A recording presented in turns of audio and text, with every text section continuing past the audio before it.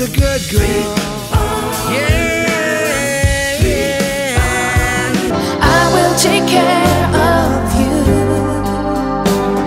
the very best that I can with all of the love here in my heart and all of the strength in my hands.